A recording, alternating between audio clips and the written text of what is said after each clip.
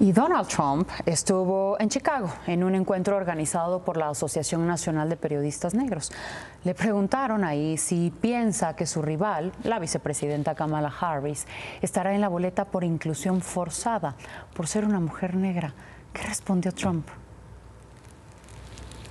She was always of Indian heritage and she was only promoting Indian heritage. I didn't know she was black.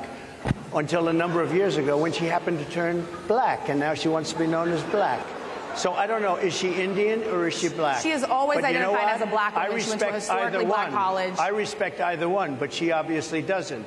Because she was Indian all the way, and then all of a sudden she made a turn and she went she became a black person. Just to be clear, sir, do and you I believe think, that I think somebody should look into that too when you ask a continue in a very hostile, nasty tone.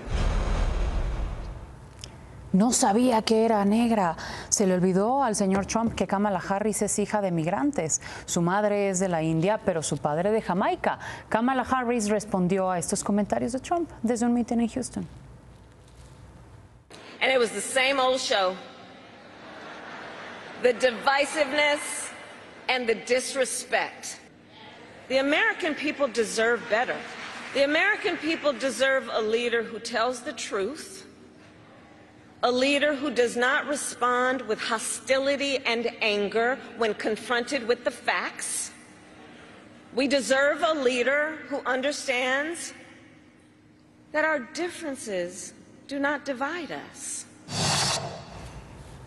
Y como si fuera Vicente Fox hace 25 años, Donald Trump dijo hoy que los migrantes que entran a Estados Unidos entran a quitarle el trabajo a los negros, así dijo. Y le preguntaron, le dijeron cuáles son los trabajos de los negros. Y dijo Trump, bueno, pues los que hacen los negros. En fin, bueno, el,